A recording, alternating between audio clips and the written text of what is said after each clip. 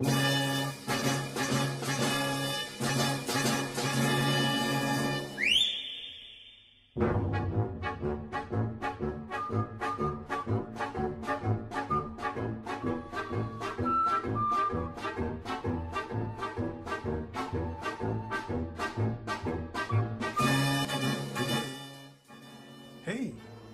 nosotros somos la Armata Brancaleone.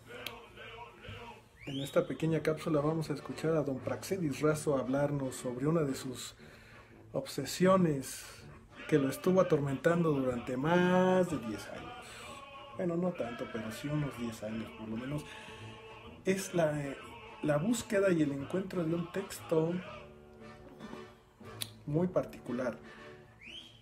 Eh, Este texto lo escribió Rubén Gámez hace ya varios, varios décadas y es un, es un libro de cuentos muy pequeño, el cual estuvo perdido durante mucho tiempo y que Praxedis lo encontró en la Biblioteca México. Por favor, Praxedis, ilústrenos acerca de esta obsesión y de cómo fue la búsqueda, el camino y el encuentro hacia esta gran obra. Adelante.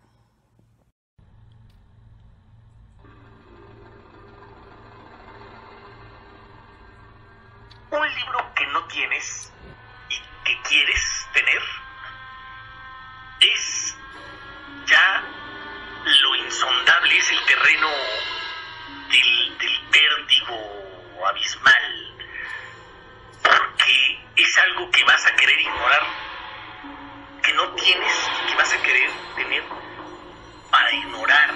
Y, y esa obsesión me tuvo a mí en vilo durante cerca de pues 15 años.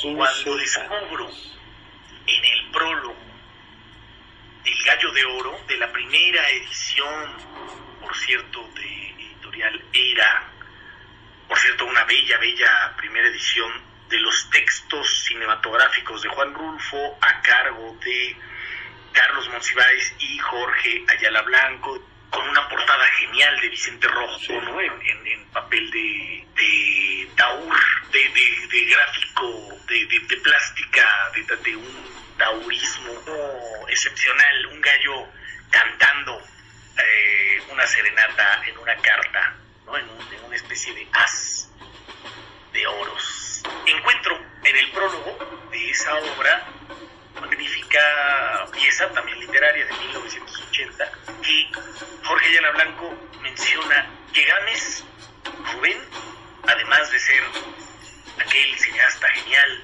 eh, y, que, y haber descubierto su obra a partir de un texto rufiano, la fórmula secreta en particular, eh, ahí menciona, además escribió un libro rufiano, por cierto, dice, un libro rufiano llamado La Tierra de mi Madre. Entre paréntesis, taller editorial 1976. Como si nada hubiera dicho, siembra en mí un una pieza de un rompecabezas de mi idiotez que, que, que me obsesionaría, te digo, 15 años.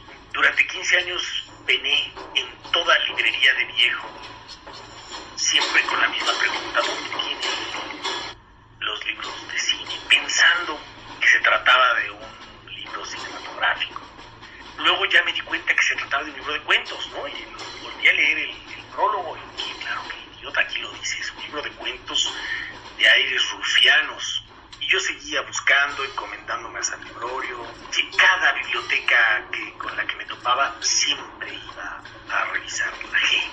No sabía de qué tamaño era, no sabía nada del libro, solo sabía lo que se estaba, estaba escrito en ese prólogo del gallo de oro.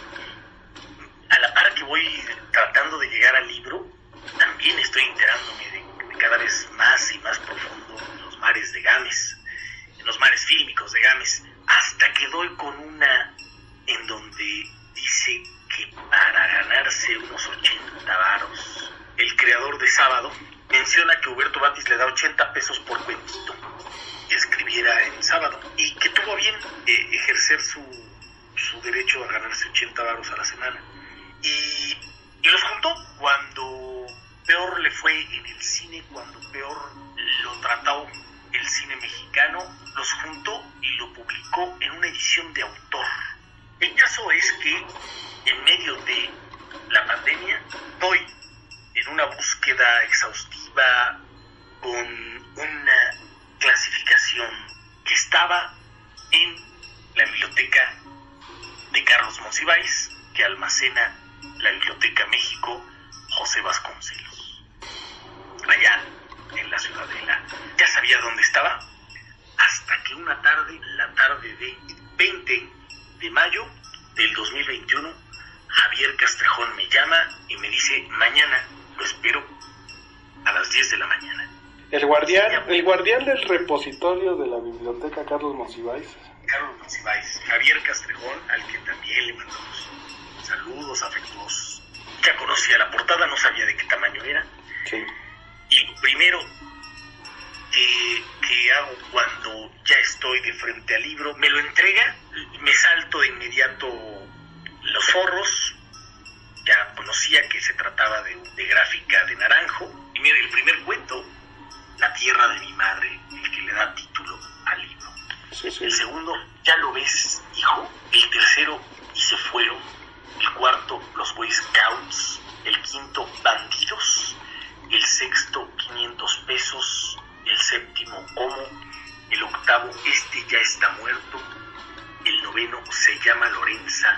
Hasta que también empiezo a ver nombres que me son muy familiares como el título de Sotoluca, el título de La Noche de los Magueyes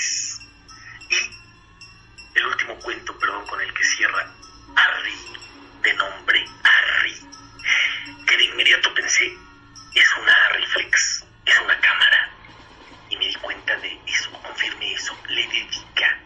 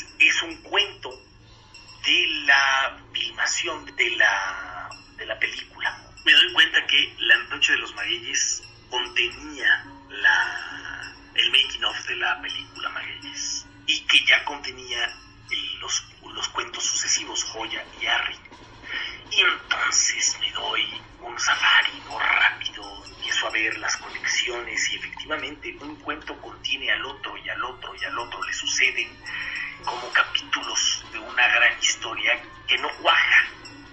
Sí. Hasta hoy sigue siendo entonces un objeto que pude acariciar después de 15 años de penar, cual bibliófilo desesperado.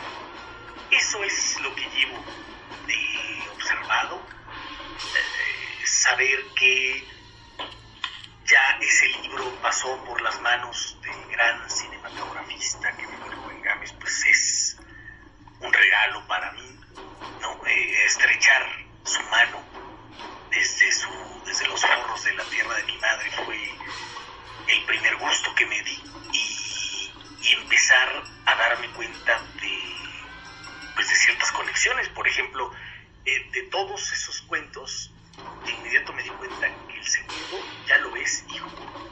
Esa pregunta es un, relato que acabó montando a lo largo de, varios, de varias secuencias cortadas en Tequila, su único largometraje de 1992.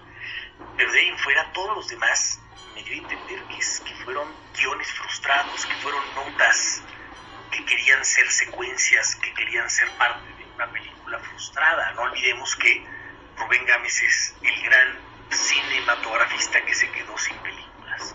Y esa es la gran historia de la tierra de mi madre Limpieza.